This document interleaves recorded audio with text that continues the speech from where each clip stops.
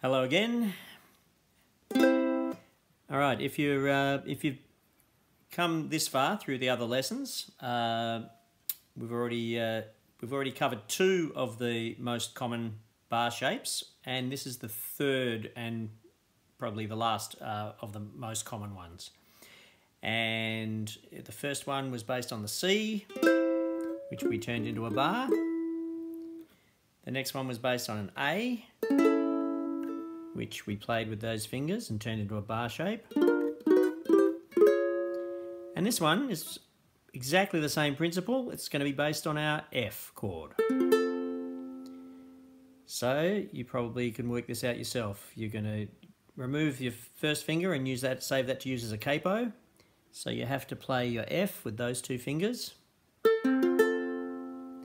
And then you're already in the position there to slide it and become a movable chord.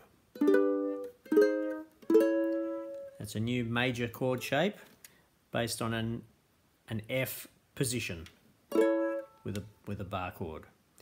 And really, if you've um, you've just done the A chord, it's it's really simple. There's your A shape, not not chord. This is a C chord, but uh, that position of an A, all you're doing is moving that finger to the next string, and you're getting another major chord. That one's based on an A shape. This one's based on an F shape. So, yeah, pretty pretty simple. If you've uh, if you've done the last one, it's it's a very similar shape. Um, so yeah, from an F, we now have an easy F sharp. Next one up will be a G, and I'll just just stop there to uh, to show you this G shape. Um, both those outside strings are the same, but if I let go of this string and just play the the top strings, top three strings, that's exactly the same as the G you always play. Some people hold it like that. Exactly the same notes. That's your normal G. I play it.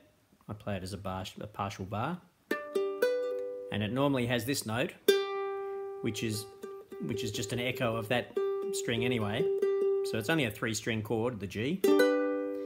And what we're doing is changing to a full. Well, it actually doesn't even need a full bar because this finger's going to uh, going to take the place on that string, but I always tend to play it as a full bar. So it's exactly the same G that we've normally been playing, it's just now that you understand the shape is simply, it's based on an F moved up two frets. Uh, and then we have G sharp, an A, you can test it, it's the same sound as our A we're used to playing, you can now play that as an F shape on, on the fourth fret. A, B flat, B, C. So there's another C chord we've just learned. And obviously as far up the neck as you can reach, but you probably can't go very much further than there. C, D, up to about an F. Uh, so, and just to show you as well how the how these chords patterns relate to each other, so I think I showed you last time with, with your C chord, which is actually a, it's that shape, but it's uh, on, on where there's, there's no bar, it's an open chord. If you take the root note, there's a, that's a C octave, and you use that as your position for your A shape chord, that'll be the same chord. And then from your A shape, so you've got three frets covered there, skip this next fret and start on this fret and play your F shape, it's going to be the same chord. So those ones, there's just that's a C, because that's a C, because that's a C. And you could work it out as well for other chords. There's a D. So starting on this fifth fret where my finger is would be the A-shaped D. And then skipping that fret and starting on this fret would be your F-shaped D. And actually, if I don't have enough neck room, but you could probably show you with a C chord. C, C shape to the to the A shape C, to the F shape C. The next step would be to skip two, and you could play your C shape again as a whole octave. Up the neck, you've gone 12 frets. So that's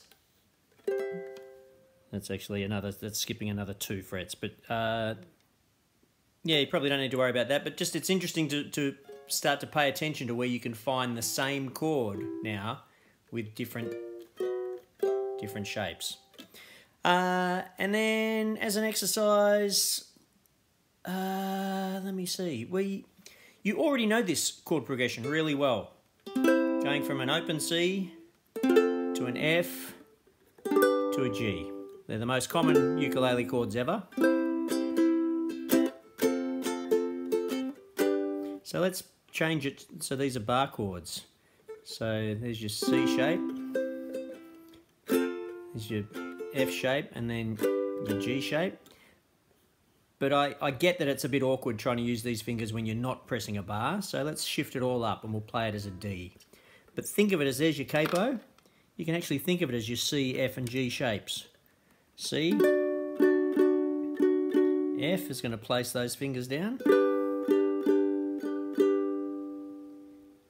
Which would then actually give you a an F sharp chord because we're in we're in D, F sharp, and then that would be an A. Same same position, just slid up, slide down.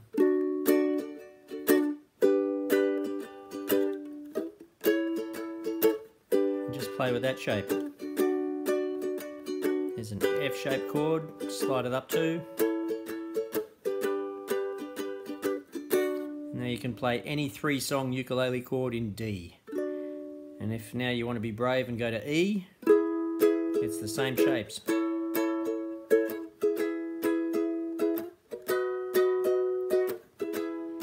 You've got that shape as a C shape, and these two are both F shapes. Alrighty, that's something to practice. That'll uh, that's probably blowing some people's minds now as far as how they're all related. But uh, yeah, really good practice to to now use this F chord and play around with it and see where it